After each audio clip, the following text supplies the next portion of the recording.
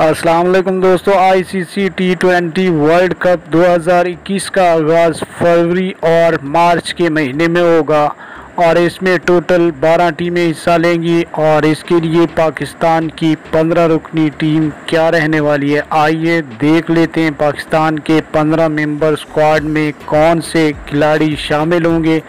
सबसे पहले ओपनर्स, जो कि तीन ओपनर्स होंगे, और इसके बाद मिडिल आर्डर बैट्समैनों की बात की जाए तो छः मिडिल आर्डर बैट्समैन और दो स्पिनर्स, और इसके बाद फास्ट बॉलर्स रखे गए हैं। तो दोस्तों, मुकम्मल तफसील से आगाह करते हैं, लेकिन उससे पहले हमारी आपसे रिक्वेस्ट है, अगर चैनल पे फ़र्स्ट टाइम है तो बर मेहरबानी चैनल को फ्री में सब्सक्राइब करके साथ में लगी बेल आइकन को ज़रूर इनेबल कर दें, ताकि क्रिकेट से रिलेटेड तमाम तर अपडेट्स की नोटिफिकेशन आपको वक्त पर और फ़ौर मिल सके। तो चलिए दोस्तों, देख लेते हैं टी ट्वेंटी वर्ल्ड कप 2021 के लिए।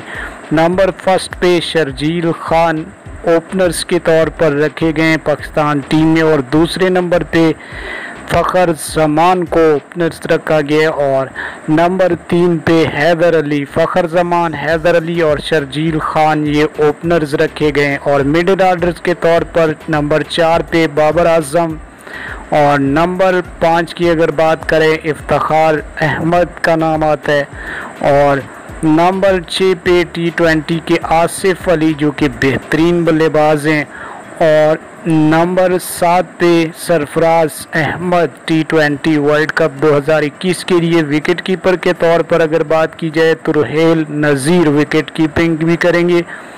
और नंबर नौ पे स्पिन बॉलर्स में शादाब खान का नाम आता है।